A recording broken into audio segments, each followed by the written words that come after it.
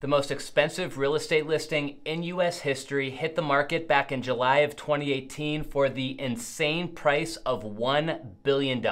It consisted of almost 160 acres sitting in arguably the most desirable zip code on the planet. We're about to land on the most expensive piece of dirt in America. The asking price there is a record $1 billion.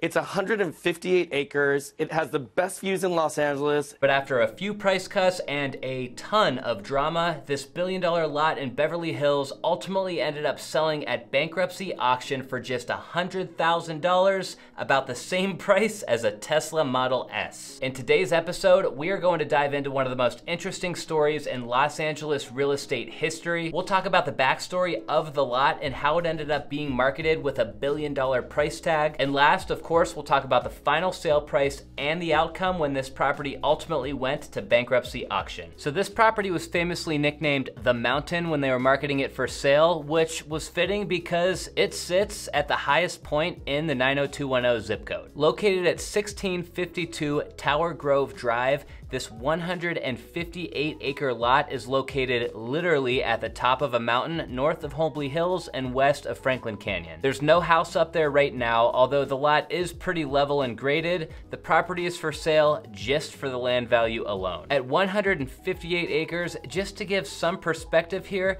this land is twice the size of Disneyland. The mountain property consists of 17 total parcels, which range from 2.5 acres up to 12.2 acres and all parcels are zoned residential. Since you're at the top of the mountain here, there are steep grades away from the property in every direction, which means that if you own this land, your closest neighbor is a half a mile away. Beverly Hills is definitely one of the most ritzy and glamorous places in the world to live, but it has been pretty heavily developed out there over the course of the past couple of decades. This just means that there's not really all that much land left, if you look here online, there are only 22 total lots available for sale in Beverly Hills right now, priced generally anywhere from a million dollars up to $30 million. So we really have to consider this lack of land supply when we think about why the mountain was being marketed for a billion dollars because it did sit right here in the heart of Beverly Hills. For anybody who was considering buying this place for a billion dollars, of course, there's plenty of positives like the views in every direction and the fact that you're only like 10 or 15 minutes away from places like the Beverly Hills Hotel and Rodeo Drive. But the downside is that with all of those winding roads down the mountain, plus hitting LA traffic along Wilshire and the 405,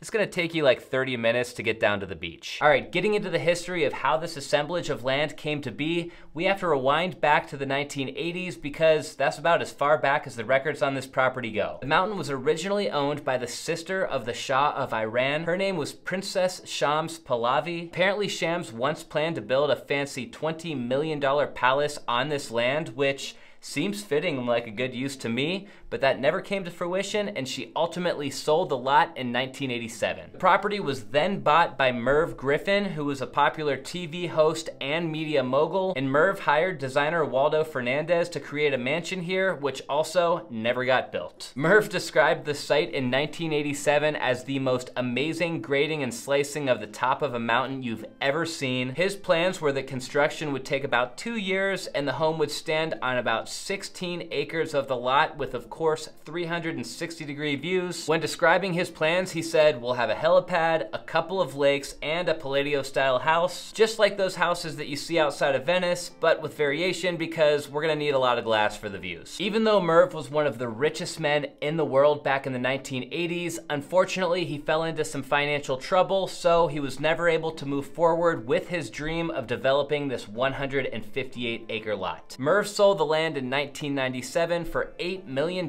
which was a record-setting sale at the time, and this time the buyer was a guy named Mark Hughes, who is the founder of Herbalife. Well, Mark Hughes had grand plans to develop this land just like Merv Griffin and just like the princess before him, but sadly, Mark passed away unexpectedly in 2000, just three years after he bought the mountain property. Before we move on to the last name in the chain of ownership on this property, remember that Mark Hughes name with Herbalife life because even though he passed away, his name comes up again later in the story. In 2004, an investor from Atlanta named Chip Dickens bought the land from the Hughes estate after Mark passed. I couldn't find the final sale price from 2004, but what we do know is that Chip took out a loan of $45 million at that time in order to be able to do this deal. After Chip Dickens bought this Beverly Hills estate, it sat there basically collecting dust for about 15 years. By around 2016, Chip established an LLC with a business partner, Victor Noval, and he transferred ownership of the mountain into that LLC, but that's about all the activity that I could find. Fast forward to the summer of 2018, and this is when the marketing buzz began for the mountain, with Aaron Kirman listing the property for sale for a whopping $1 billion.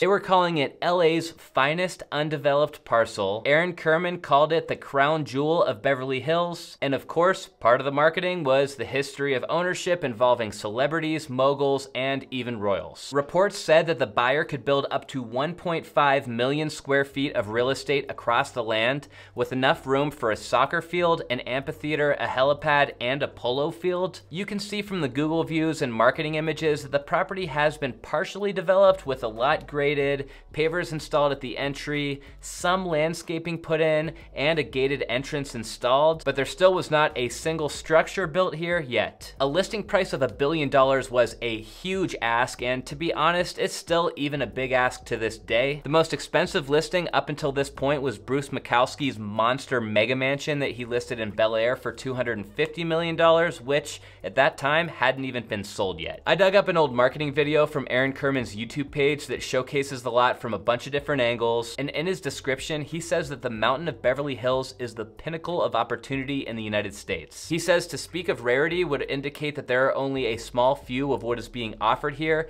but this is even more rare with its 157 acres and 360 degree views. Now, some people might argue that slapping a billion dollar price tag on a property like this is kind of just a marketing gimmick, and with some of these LA mega mansions, I tend to agree with that thought process that realtors or developers just put massive price tags on these homes just to generate some buzz. But when you consider the fact that if someone were to pay a billion dollars for the mountain, that would amount to about $6 million per acre in the best part of Beverly Hills, it's not all that bad. Aaron Kirman stated back then that his marketing budget was between $400,000 and $1 million to sell this property. I cannot even imagine being a real estate agent and sinking a million dollars into marketing a property for sale. But when you realize the fact that Aaron Kirman's commission, if he did sell this place for a billion dollars, would be over $20 million, a million dollar marketing budget doesn't sound all that bad. In order to be able to afford the mountain, you obviously need to be a billionaire. There's around 2,800 recorded billionaires in the world right now, and there was about the same amount back when this place was being marketed for sale. So a relatively small buyer pool here, but as they say, when you're selling anything, all you need is one. Apparently, the billion dollar price tag was too big for anyone on the planet because in February, the price was slashed to $650 million.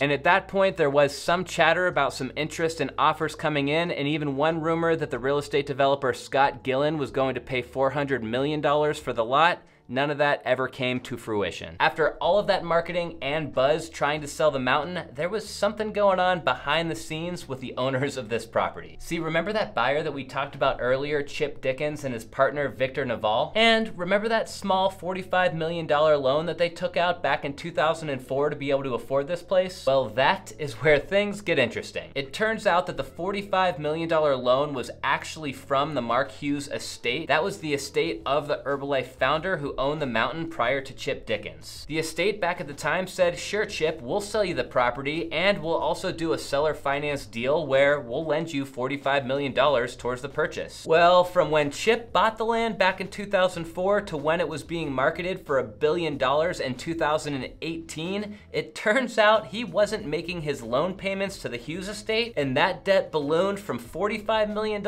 all the way up to $200 million. If we've learned anything from these people who own this luxury LA real estate end up to their ears in debt and then put themselves in a position where they can't afford it, it's that there's really only one way out, and that is file for bankruptcy. Chip Dickens and his company did just that. They filed for bankruptcy, but the case was actually declined, probably because they were not in fact bankrupt. That meant that the lender, who happened to be the prior owner, the Hughes estate, needed to take the next logical step here, which was foreclose on the land. Real estate agent Aaron Kirman's marketing came to an end. The auction date was scheduled, and on August 20th, 2019, the mountain officially sold at Pomona Civic Center Plaza for just $100,000. You heard that right, and you read that right. The property that was just being marketed for a billion dollars sold at auction for $100,000. Of course, there's a catch here, guys, and the court documents revealed that. It turns out that whoever ended up being the buyer of this property at auction would also inherit that $200 million worth of debt debt owed to the Hughes estate. I guess nobody felt like the property was worth even $200 million, so the Hughes estate themselves ended up bidding $100,000 for the property at auction. They won the auction and they took back the property that they owned 15 years ago. What happened since the auction date of this property back in 2019 is pretty vague, but there was one very confusing story from the summer of 2020 that said that the feds were moving to seize the mountain once listed for sale for a billion dollars. That article went on to say that some of the funds used to buy the property were embezzled by former high level officials in Kuwait's Ministry of Defense. And they say that ex Kuwait officials used the London office to open unauthorized bank accounts, and then they transferred over $100 million in public funds to the London accounts, some of which were allegedly used to fund the purchase of the mountain property. Now, it needs to be said that these allegations do have nothing to do with the current owners of the property, the Hughes estate. They seem to all all be pointed at the previous owner, Victor Noval. So my guess is that the feds can't go after the property itself. They'll probably be going after Victor. If you enjoyed the video and the story today, guys, hit that thumbs up button down below for me before you go. The likes and the comments on these videos really help my channel out a lot. And remember to click subscribe as well if you're not already a subscriber because I'm putting new videos out just like this one every week. But that's all I've got for you this time. Thank you so much for watching, and until next time, See ya.